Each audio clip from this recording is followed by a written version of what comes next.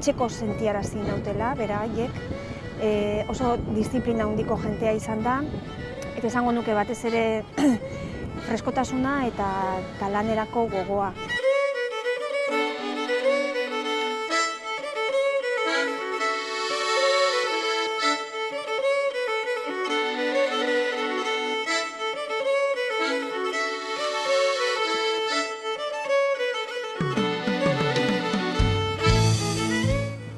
Ari du emanaldirako prestatutako poemak nolabait euriaren eta dantzaren loturan ba hitza sartzeko asmoa betena izan dute, ezta?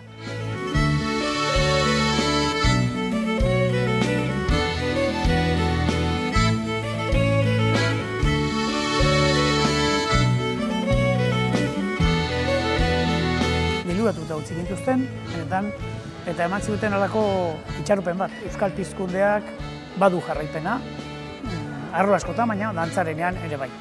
Eskarrik asko, oinkari.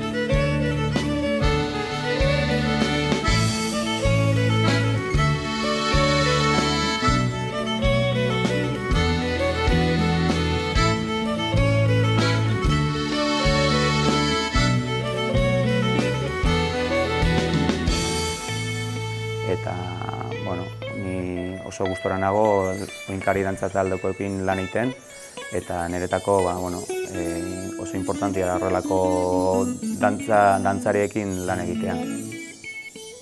Sobre todo la profesionalidad, ¿no? Eh, para gente que, que, tiene que estar con sus trabajos y sus estudios y sus cosas, eh, verles trabajar de la manera que lo hicieron es algo que para mí merece todos mis respetos.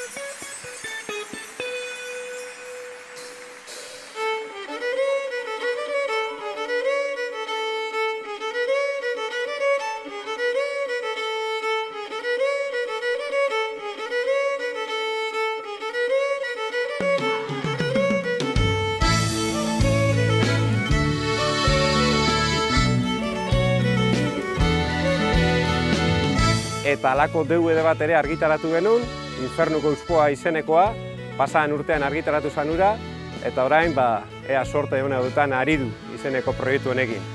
Hau poinkari!